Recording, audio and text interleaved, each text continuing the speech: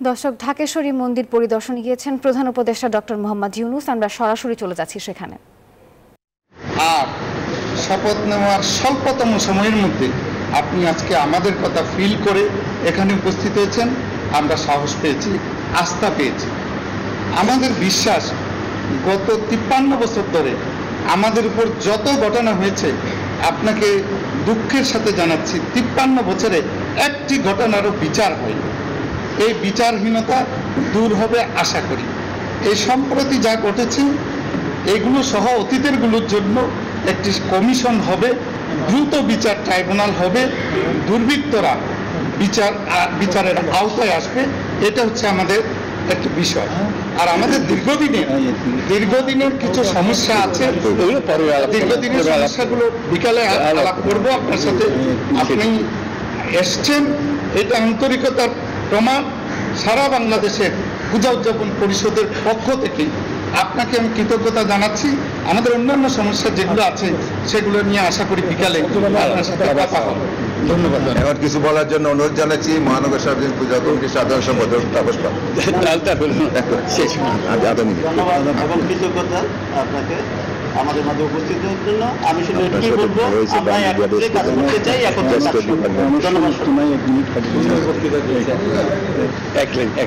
বলার জন্য অনুরোধ রাখছি পূজা পরিষদের সম্মানিত সভাপতি সাংবাদিক বাসুদেব আমি বলেছি আর আর উপদেষ্টার তো এক মিনিট সময় যাই ধন্যবাদ আমাদের এই জাতীয় মন্দিরে ঐতিহাসিক মন্দিরে আসার জন্য। আমাদের প্রধান উপদেষ্টা এবং সবাইকে শুভেচ্ছা। এক মিনিট যেহেতু। আমি শুধু একটা কথা বলার জন্য যে বৈষম্য বিরোধী আন্দোলনের। নতুন যুগের সূচনা হয়েছে। বৈষম্যটা এক বিরাট ক্যান্সার আলিম ধর্ম বৈষম্য সমাজে বৈষম্য আর্থিক বৈষম্য ধর্মান্ধতায় এবং সব কিছু মিলিয়ে এই বিশাল ক্যানভাসটা উনি লেখালেখি করেন বলে আমি ওনার সঙ্গে আগেও আলাপ করেছি। এই ক্যানভাসটা দূর করতে হবে। আমরা এত অত্যাচারী মানুষ হিসেবে আমাদের অধিকারগুলো নিশ্চিত হোক। সমস্ত সমস্যার গোড়া হলো আমরা যত প্রাতিষ্ঠানিক আয়োজন এগুলো করেছি সব কিছু পচে গেছে। এই কারণে এই গোল- গোলমালগুলো হইতেছে। কাজে আমরা প্রাতিষ্ঠানিক আয়োজনগুলোকে ঠিক করতে হবে, যে ন্যায় বিচার। ন্যায় বিচার হলে কে বিচার পাবেন আমার বলেন, আমি কি দেখতেছি এটা কোন ধর্মের, কোন জাতের, কি এটা বলা আছে, আইনে বলা আছে? আপনার বিচার, এই সব সম্প্রদায় হলে ওইখানে ওই আদালতে যাবে, ওই সম্প্রদায় হলে ওই আদালতে আইন একটা।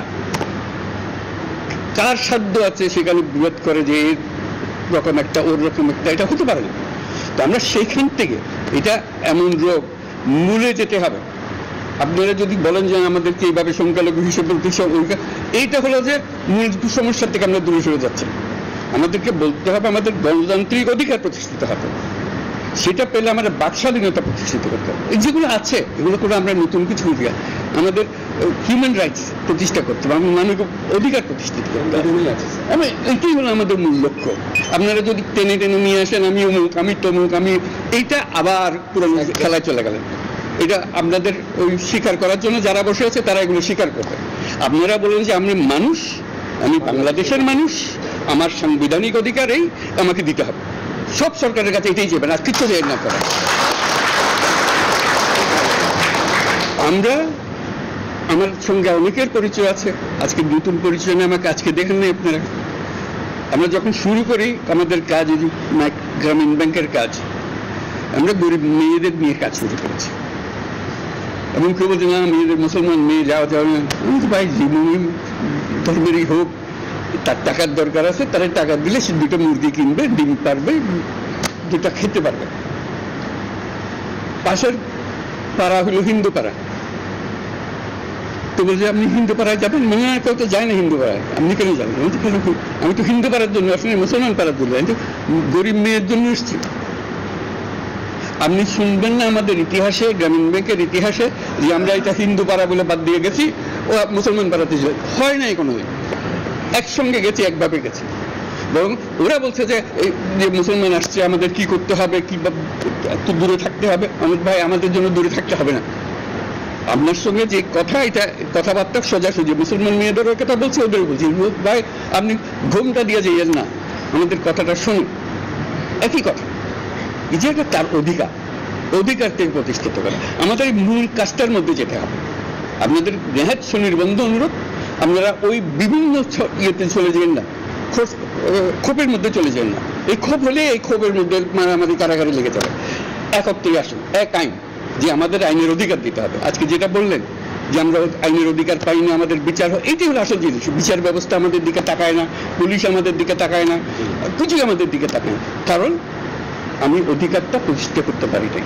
আমাদের নীতিটা আমরা প্রতিষ্ঠা করতে পারি। আমরা আমরা যে প্রাতিষ্ঠানিক আয়োজন করেছি, এটা বায়াস একটা আপনি যত কিছু বলেন, ওই একটা খুব খুব খুব খুব করতে আরম্ভ করবেন, তারা মজা পেয়ে যাবে। ওই মজার খেলাতে আমাদেরকে নিয়ে যাবেন আমরা এসেছি এক মানুষ। এক অধিকার, এর মধ্যে কোনো পার্থক্য করা যাবে না। আমাদেরকে একটু সাহায্য করেন আপনারা।